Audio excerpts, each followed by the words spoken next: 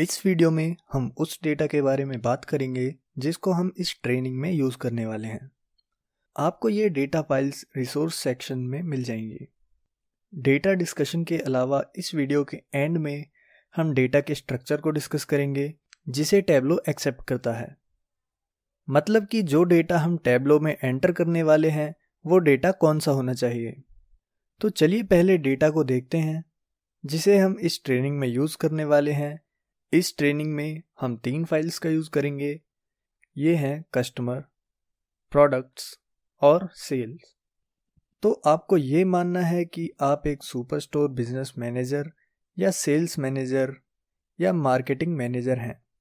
Sales file में sales transaction है। तो ये हमारा ट्रांजैक्शनल डेटा है। मतलब कि सेल्स टेबल में हमारी सारी सेल्स हैं। कस्टमर टेबल में कस्टमर से रिलेटेड इंफॉर्मेशन है। और प्रोडक्ट टेबल में प्रोडक्ट से रिलेटेड इंफॉर्मेशन हैं। ये तीनों file comma separated value files हैं। मतलब कि ये सीएसवी फाइल्स हैं।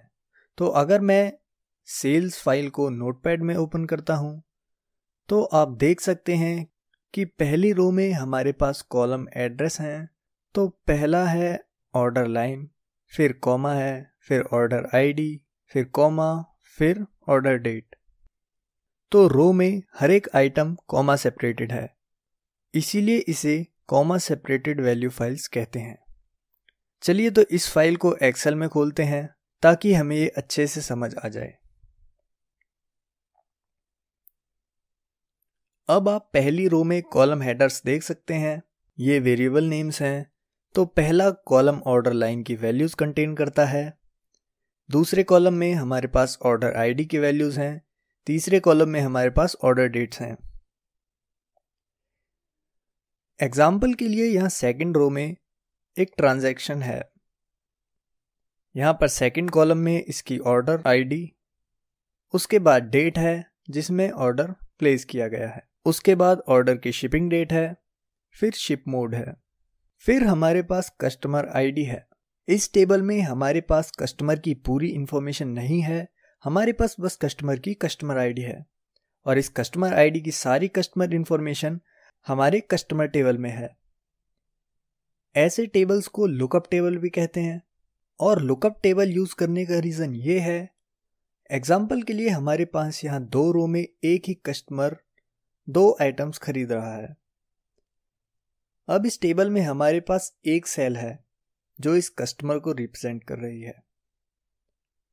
अब अगर इस कस्टमर आईडी के बजाय हमारे पास अगर कस्टमर की सारी डिटेल्स होती, उसकी एज एड्रेस नेम तो इससे मेरे ट्रांजैक्शन टेबल का साइज़ इंक्रीज हो जाता।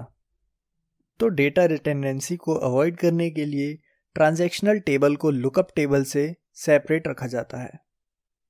तो ये हमारा ट्रांजैक्शनल टेबल है, जिसमें कि ट्रांजैक्शनल डेटा है।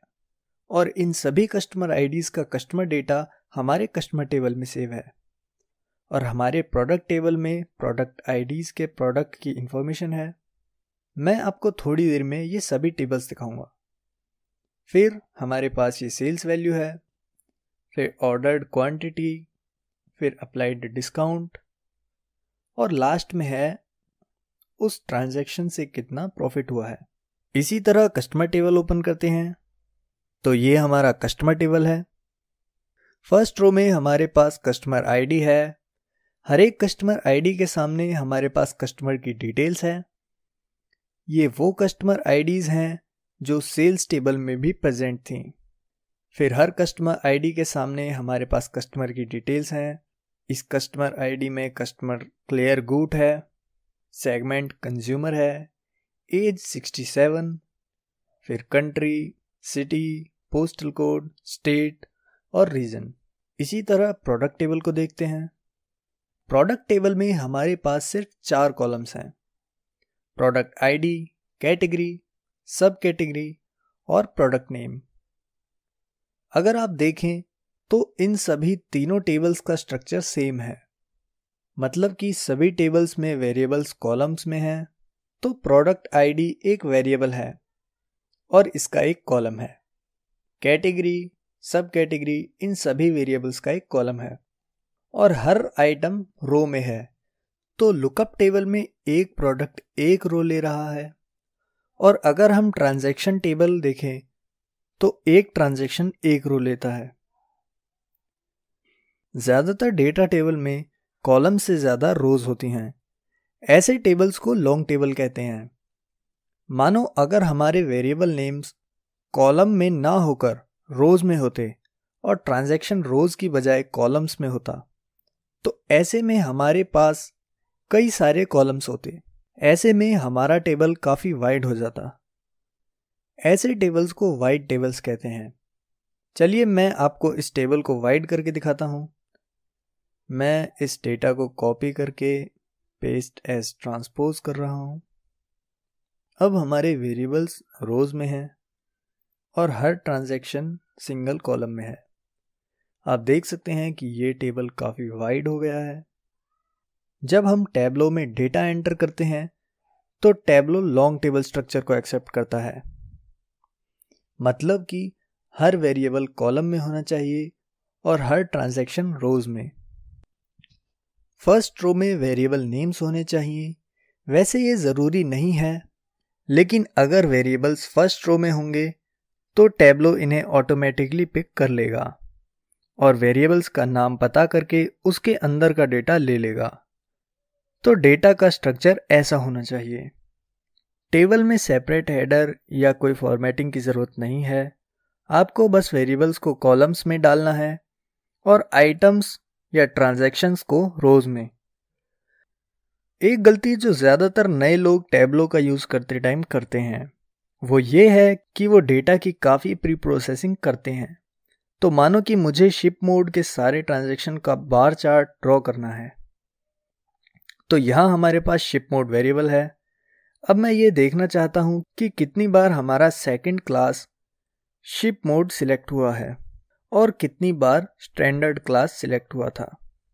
अगर मैं इसका चार्ट बनाना चाहता हूँ तो शायद मैं पहले इसका पिवट टेबल बनाऊँगा।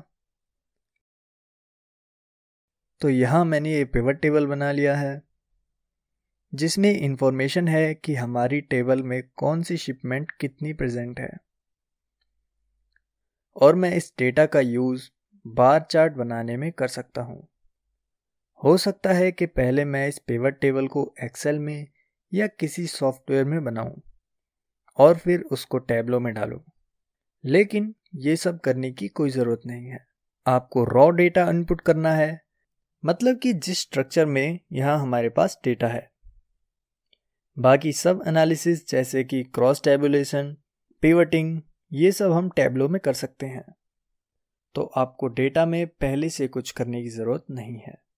एक लास्ट चीज़ और, हमने आपको जो डेटा रिसोर्सेज में प्रोवाइड किया है, ये सीएसवी फाइल्स हैं। तो जब आप इस डेटा को एक्सेल में देखेंगे तो हो सकता है कि आप उसमें कुछ चेंज करें।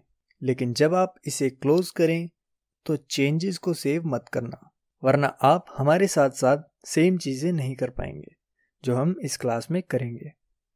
एग्ज़ाम्पल के लिए, जैसे इस डेटा को देखते हैं, मैंने यहाँ दो शीट्स बना दी हैं।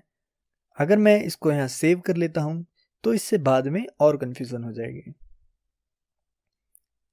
अगली वीडियो में हम देखेंगे कि इस डेटा को टैबलो में कैसे डालें। थैंक्स